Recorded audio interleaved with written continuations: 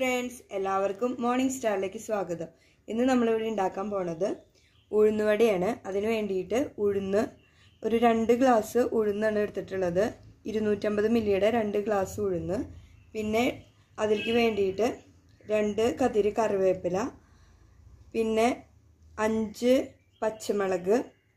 ഇത്ര പേണ വലുപ്പത്തിൽ ഇഞ്ചി ഇഞ്ചി പിന്നെ ഒരു ചെറിയ സവോള അരിഞ്ഞത്. പിന്നെ പാകത്തിന് ഉപ്പ്. അപ്പോൾ ആദ്യം നമുക്ക് ചെയ്യാനുള്ളത് ഇത് അരച്ചെടുക്കുകയാണ് അപ്പോൾ അരച്ചെടുക്കാൻ വേണ്ടിയിട്ട് മിക്സിയുടെ ജാറിലേക്ക് ഇടാം.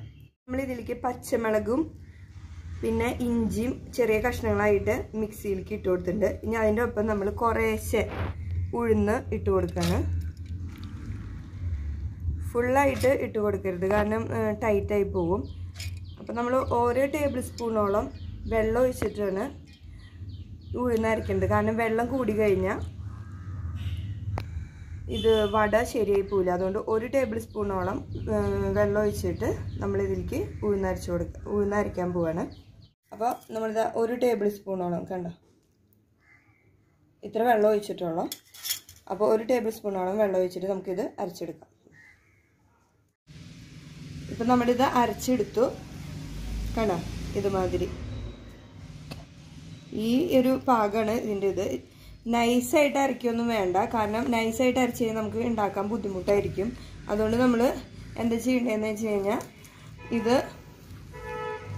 ഒരു ചെറുതായ ഒരു തരിത്തരിപ്പോട് കൂടിയിട്ട് വേണം ഇത് അരയ്ക്കാൻ. പിന്നെ നന്നായിട്ടൊന്ന് ഇതുപോലെ ഒന്ന് മിക്സ് ചെയ്യണം. മിക്സ് ചെയ്യുന്നതിനനുസരിച്ചാണ് നമ്മുടെ ഉഴുന്നുവടയുടെ ടേസ്റ്റ് ഉണ്ടാവുക അതിന് അതിലേക്ക് നമ്മളിത് അരിഞ്ഞു വെച്ച സവോള പിന്നെ കറിവേപ്പില രണ്ട് കതിര് ഇതും കൂടി ചേർത്തിട്ട് അരയ്ക്കുക. പിന്നെ ഉപ്പ് പാകമാണോ എന്ന് നോക്കുക. ഞാൻ ഈ അരയ്ക്കണ സമയത്ത് കുറേശ്ശെ ഉപ്പിട്ടിട്ട് അരച്ചു. കാരണം എല്ലാ ഭാഗത്തേക്ക് എത്താൻ വേണ്ടിയിട്ട്. അങ്ങനെ ചെയ്യാൻ നിർബന്ധിക്കണമൊന്നുമില്ല. കാരണം എന്താണെന്ന് വെച്ച് കഴിഞ്ഞാൽ അത് ഇപ്പോൾ ഈ ഇളക്കണ സമയത്ത് ഇട്ടാലും മതി. അപ്പോൾ നന്നായിട്ട് ഇത് ഇളക്കുക. ഒരു അഞ്ചാറ് മിനിറ്റ് നേരമെങ്കിലും ഇങ്ങനെ ഒന്ന് ഇളക്കുക. അപ്പോൾ നമ്മളിത് ഇത് നന്നായി ഇളക്കി കഴിഞ്ഞിട്ടുണ്ട്. ഇനി നമുക്കിത് ഉണ്ടാക്കാം. അപ്പോൾ ഇത് നമ്മൾ അരച്ച വശം തന്നെ ഉണ്ടാക്കാം. കാരണം ഇത് വീർക്കാൻ വേണ്ടി വെക്കേണ്ട കാര്യമൊന്നുമില്ല. ഇനിയിപ്പോൾ ഇതിലേക്ക് വേണ്ടിയിട്ട് നമ്മൾ തേങ്ങാ ചട്നിയാണ് ഉണ്ടാക്കുന്നത് അതിന് വേണ്ടിയിട്ട് ഒരു മീഡിയം സൈസ് തേങ്ങ അതിലേക്ക് ഒരു ആറല്ലി ചുമന്നുള്ളി പിന്നെ ഉള്ളത് ഒരു നാല് ടേബിൾ സ്പൂണ് പൊട്ടുകടല. അത് നമ്മൾ ഫ്രൈ ചെയ്തിട്ടാണ് ഇടുന്നത്. പിന്നെ ഒരു ചെറിയൊരു കഷ്ണം ഇഞ്ചി പത്ത് പന്ത്രണ്ട് പച്ചമുളക് ഇത് നമ്മൾ ചെറിയ കഷ്ണാക്കിയത് അത്രയ്ക്ക് ഇഞ്ചിയുടെ ടേസ്റ്റ് ഇവിടെ വലിയ താല്പര്യമില്ലാത്തതുകൊണ്ടാണ്. നിങ്ങൾക്ക് വേണമെങ്കിൽ ഇതിൽ കുറച്ചും കൂടി വലുപ്പത്തിൽ ഇഞ്ചിയുടെ കഷ്ണം എടുക്കാം. അപ്പോൾ നമ്മളിത് ഇനി അരച്ച് ചട്നിയാക്കാം ഇനിയിപ്പോൾ അതുപോലെ വട ഉണ്ടാക്കാനും തുടങ്ങാം. ഇനിയിപ്പോൾ വട ഉണ്ടാക്കാൻ പോവാം. അപ്പോൾ നമ്മളിത് അരച്ച് എടുത്തിട്ടുണ്ട്. ഇനി ഇതിലേക്ക് കടുക് താളിക്കാം ഇതുപോലെ തരിത്തരിപ്പായിട്ട് അരക്കേണ്ടതാണ് നല്ലത്. അത് കടുക് താളിക്കാൻ വേണ്ടിയിട്ട് എണ്ണ ഒഴിച്ച് കൊടുക്കുകയാണ്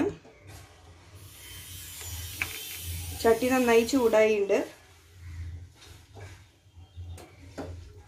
അപ്പം എണ്ണ നന്നായി ചൂടായിട്ടുണ്ട് അപ്പം നമ്മൾ ഇതിലേക്ക് ഇനി കടുക് ഇട്ട് കൊടുക്കുകയാണ്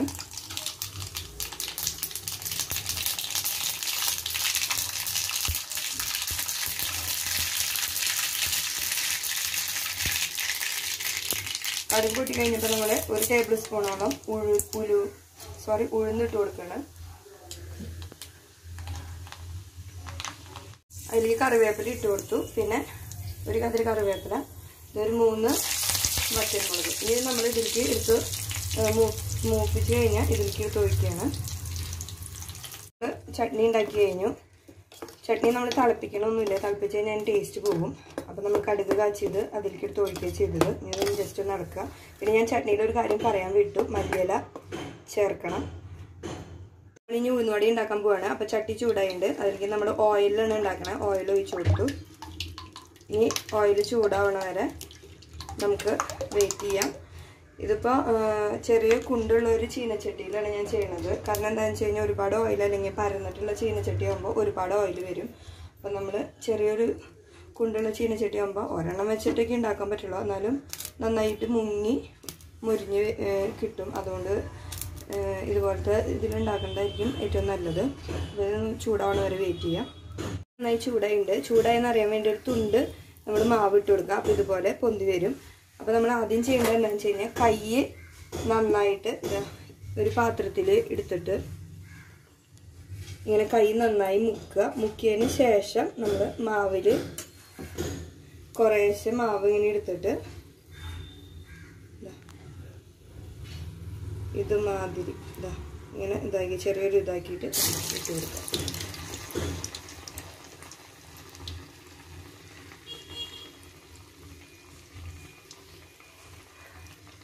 അപ്പോൾ ഇത് ഇത് ഇപ്പോൾ ഒരു ഭാഗം മുരിഞ്ഞു വന്നിട്ടുണ്ട്. അപ്പോൾ നമ്മൾ ഇനി ഇത് ഇതിനെ ഇപ്പുറത്തേക്ക് ഇങ്ങനെ മറിച്ചിടുക പിന്നെ ഫുള്ള് തീയിൽ ഇത് വേവിക്കരുത്. തീ ഇത്തിരി കുറച്ച് വേവിക്കണം. കാരണം ഉള്ളു വേവില്ല. അതുകൊണ്ട് തീ ഇത്തിരി കുറച്ച് ഇത്തിരി സമയം എടുത്ത് തന്നെ വേവിക്കണം. അപ്പോൾ നമുക്കിത് മുരിയണവരെ വെയിറ്റ് ചെയ്യാം.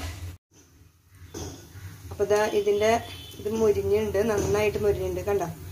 അപ്പോൾ ഇത് നമുക്ക് കോരി മാറ്റി വയ്ക്കാം ഇതുപോലെ തന്നെ അടുത്തത് ഉണ്ടാക്കാം.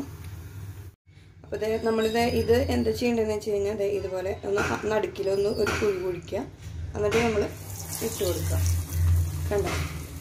പിന്നെ നമ്മളെപ്പോഴും ഉണ്ടാക്കുന്ന സമയത്ത് കൈയൊന്ന് വെള്ളത്തിൽ മുക്കിയതിന് ശേഷം വേണം മാവ് എടുക്കാൻ. അല്ലെങ്കിൽ അത് അടർന്നു പോവില്ല. അപ്പോൾ ഇനി നമുക്കിനി ഇതും കൂടി വറുത്ത് കോരാം. അതുപോലെ മറ്റുള്ളതെല്ലാം വറുത്ത് കോരി എടുക്കാം അപ്പോൾ നമ്മുടെ വട റെഡി ആയിട്ടുണ്ട്. ഇത് പൊട്ടിച്ച് കാണിച്ചു തരാം. കണ്ട നല്ല മുരിഞ്ഞ വടയാണ് കണ്ട? അപ്പോൾ എല്ലാവരും ഇതൊന്ന് ട്രൈ ചെയ്യുക പിന്നെ കുരുമുളകിന്റെ ടേസ്റ്റ് ഇഷ്ടമുള്ളവർക്ക് ഇത് നമ്മൾ മാവ് നന്നായി ഇളക്കണ സമയത്ത് കുരുമുളക് ഇട്ട് കൊടുത്താൽ മതി. ഒരു അര ടേബിൾ സ്പൂണോളം കുരുമുളക് ഇട്ടിട്ട് ഒന്ന് ഇളക്കി കൊടുത്താൽ മതി. അപ്പോൾ ഇടയ്ക്ക് കടിക്കാൻ ഇഷ്ടമുള്ളവർക്ക് അങ്ങനെ ചെയ്യാം. അപ്പോൾ ഇനി അടുത്തൊരു വീഡിയോയിൽ കാണുന്നവരെ ബൈ പിന്നെ ആദ്യമായിട്ടാണ് ഈ വീഡിയോ കാണുന്നതെന്ന് വെച്ചാൽ ലൈക്ക് ചെയ്യുക സബ്സ്ക്രൈബ് ചെയ്യുക.